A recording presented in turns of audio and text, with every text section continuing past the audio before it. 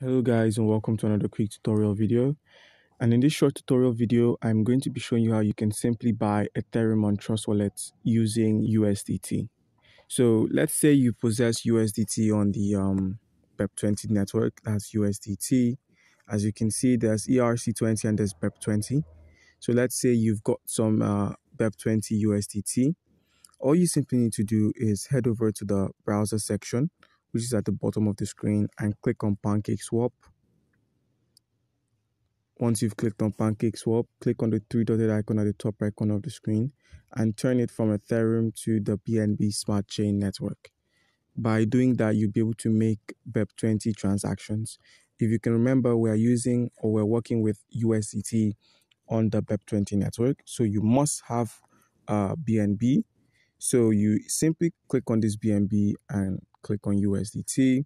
And then in the place of this cake, you simply paste the contract address for the Ethereum BEP20, which is this. So it would be in the video description. It would be in the video description so you can get the contract address from there or you make use of coinmarketcap.com. Okay, so once you've gotten your Ethereum listed, or your Ethereum selected, you simply enter the amount of USDT you're willing to swap in exchange for Ethereum. So let's say I'm going with 10 USD, I'm going to be getting uh, $10 or $9.99 worth of uh, Ethereum.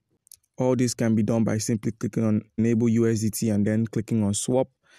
So, uh, and with that, that's how you can simply buy Ethereum on the BEP20 network using USDT.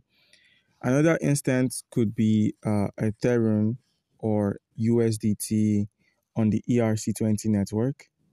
And this can be done by simply uh, possessing USDT on this Ethereum based network. And with that, all you need to do is uh, simply head over to your browser again, click on Uniswap. Uniswap is going to open up. You make sure your wallet is um, connected and once your wallet is connected, that's the icon at the top corner of the screen. You can connect or disconnect your wallet from here. And all you need to do is click on select the token. And it's going to be USDT. So if you could remember, we we're looking for USDT. So you simply click on this arrow pointing downwards to make it USDT to Ethereum. So let's say $10 worth of uh, USDT on the ERC20 network is going to give us approximately $10 on the Ethereum network, but we're paying a gas fee of $2. So keep that in mind. And with that, that's how you can simply buy Ethereum using USDT on Trust Wallet. So guys, do comment down below if you have any questions concerning how we can go about